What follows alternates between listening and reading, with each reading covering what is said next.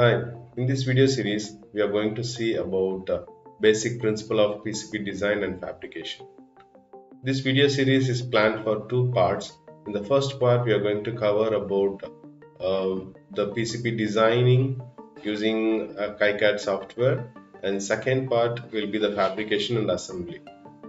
Thank you for watching this series and happy learning.